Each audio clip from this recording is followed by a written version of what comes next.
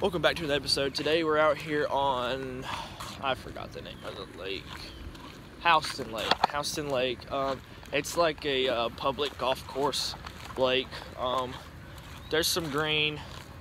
There's some docks. There's some mats. There's some. It's it's like a small lake you follow, which is what I like. So stay tuned. Hopefully we can catch some fish. We're gonna be doing some flipping, a little bit of frogging and I'm sure we'll throw the wacky rig or something. But yeah, stay tuned.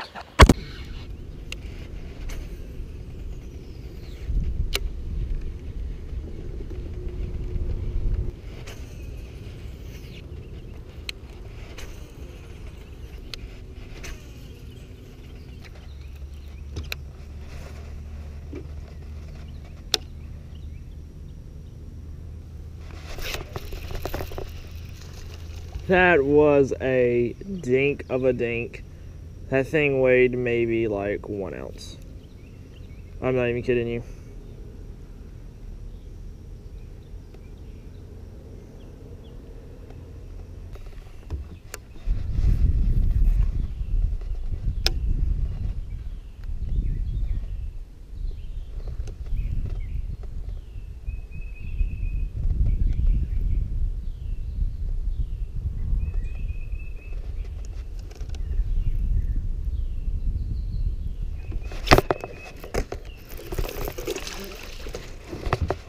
That fish had that thing for 10 years.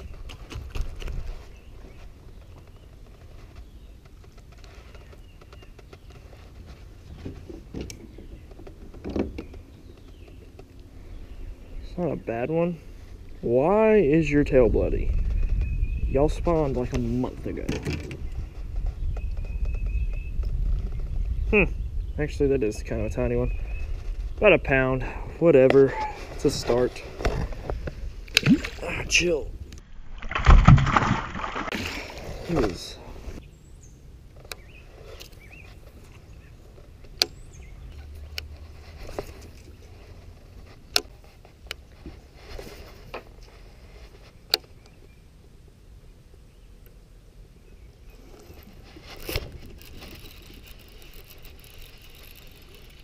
That's a grown one.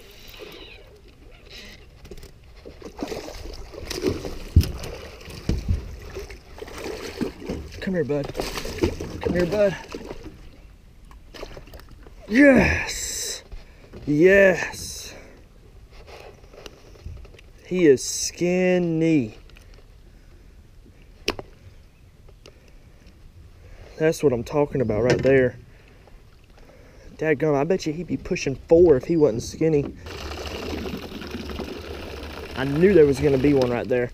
There's like trees and all kinds of stuff up under that dock. That's a stud right there. Yes, sir. Dadgum, that one's got a sore on it too. That's weird. I know they ain't on beds. That's just, that's still weird though. Alrighty, dude. You are skinny. Go, uh, go eat something. Awesome.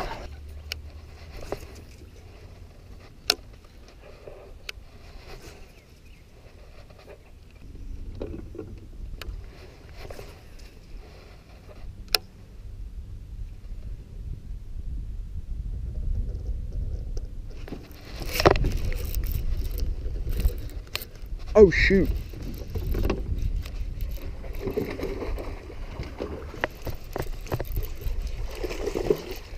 That was crazy. And that's a grown one. Shoot. That thing, that thing was all the way up under there. I thought it was on that daggone piling. Oh my gosh. He had it for a hot minute too. Man, they got sores all over them. Now that one right there is probably three, three and a half. He doesn't have as big a face as the other one, but he's just as long and fat. That's a nice one right there. That's pretty. Still got sores on him though, man, that's weird. Thanks for biting my hook, bro.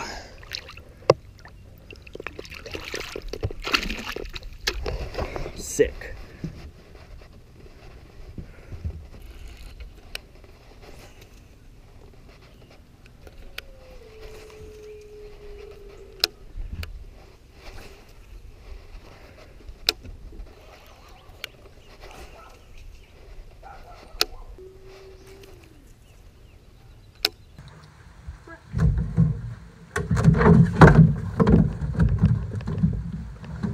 Sit.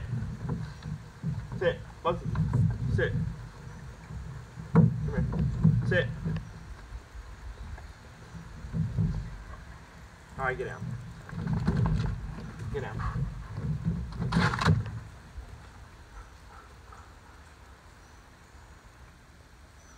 Well, guys, unfortunately, we only caught like three fish that morning. I wasted a daggum hour and a half throwing that frog, which was stupid because they were clearly up under the docks.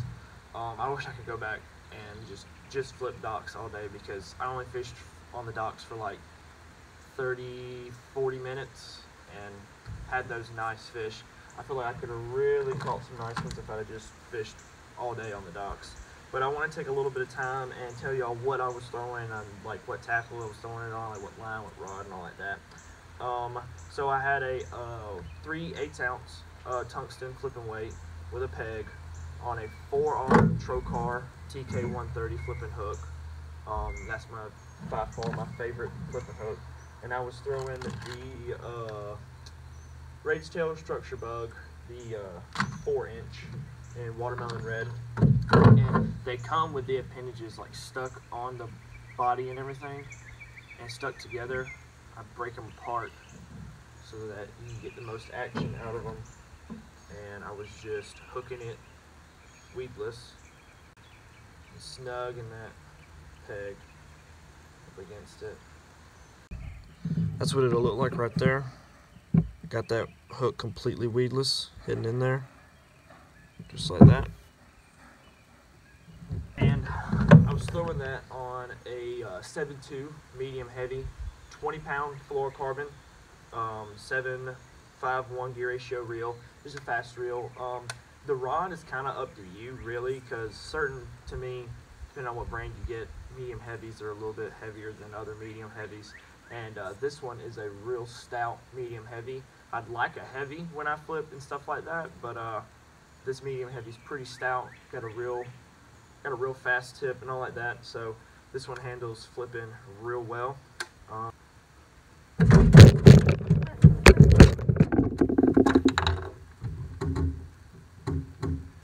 my Alright, I'm done. Get down.